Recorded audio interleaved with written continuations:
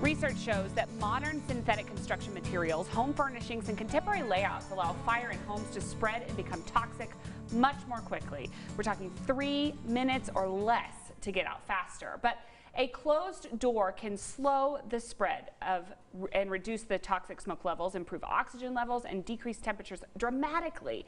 And that can make a life-saving difference in your home. Community Liaison Officer Jeff Justice is in here with us today uh, with details on the Close Before You Doze campaign. We've also got Smokey in with us as well, and Smokey's handler. Yeah, yeah, there we go. Give us a one. Okay, let's talk about this, Jeff. You guys are doing an important um, video. You yeah. need the community support. This is a wonderful campaign to sort of educate people about how how critical it is to close your door before you go to sleep at night. Absolutely. This is for the safety of our citizens, safety of our children in the community.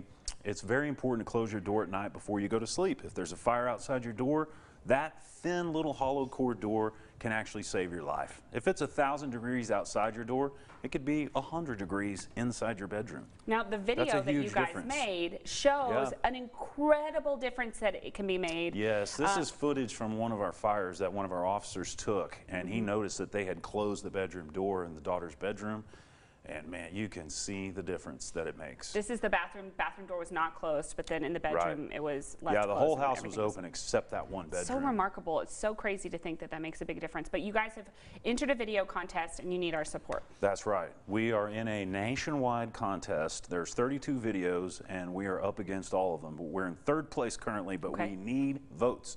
Go to closeyourdoor.org and click on contest and it'll show all the videos. And that right there is what our video looks like. It's got a teddy bear inside the door. Click vote. It's a blue button beneath the video. Just click it. Okay. We'll do it. I did it earlier today. It was easy. You didn't even have Thank to type you. in your email address. You know, I mean, yeah, it was so yeah. easy. You don't have to sign up for no, anything. There's just go vote for our friends at the AFD. Okay, let's talk about Smokey's birthday. That is coming up That's on right. Saturday, and it is going to be. There's maps. There's big to dos. I mean, we have lots lot of details, of lots of things happening. Yes. This is going to be the event of the weekend. I feel. It is. It's okay. going to be spectacular. we have been planning it for months. I know you have. Crazy. I know you have. There is. Uh, there's snacks. There's food. There's refreshments. There's. Um, we're going to have games.